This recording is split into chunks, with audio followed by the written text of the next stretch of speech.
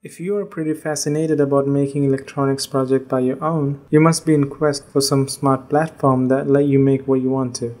Well, Arduino should be the one that can fulfill your creative desires. So in this video, we are going to learn how to get started with Arduino. Let's get started.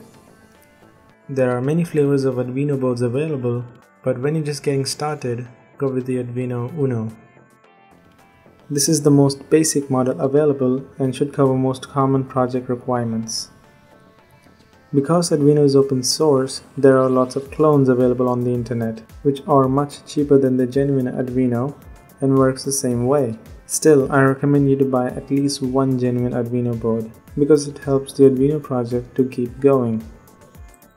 Purchasing links of the Arduino board with some starter bundles like Adafruit Experimentation Kit and SparkFun's Inventors Kit is in the description.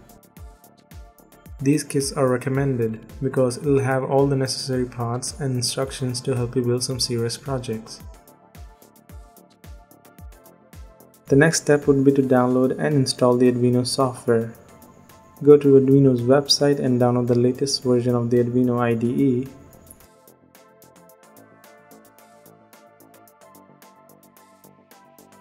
The software itself is compatible with all operating systems, which is great. I'm on Windows, so I'm going to click on Windows Installer.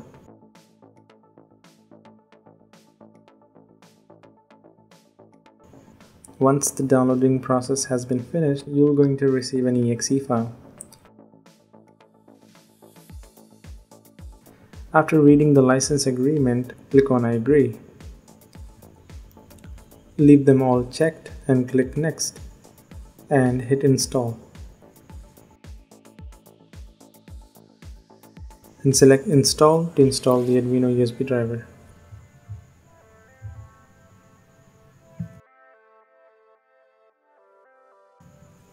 A basic Arduino program or sketch consists of two parts, the setup and the loop. The setup section includes code we want to run only once when the board first starts up. The loop contains code that we want to run again and again in a loop. So for example, let's say I want to flash an LED connected to pin 8. In the setup, I'll tell the Arduino to set pin 8 to output mode so that it can provide power to the LED. Then in the loop, I'll turn the power for that pin high, which turns the LED on. Tell the Arduino to wait for 1000 milliseconds, which is equal to 1 second and then turn power off or low which turns the LED off and then wait for another one second. Once the program reaches to the end, it will start from the beginning and run the code all over again and again. Now select our board and COM port and then hit upload. It'll prompt you to save the sketch before uploading.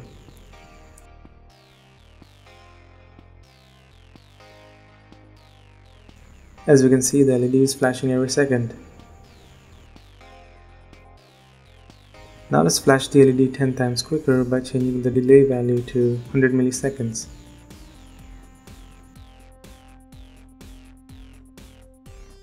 That's about it for this video. Consider subscribing to my channel for more videos like this one. Leave a like if you like watching this video. If you have any question or suggestion, leave them in the comment section below. Till then stay safe and I will see you guys in the next video.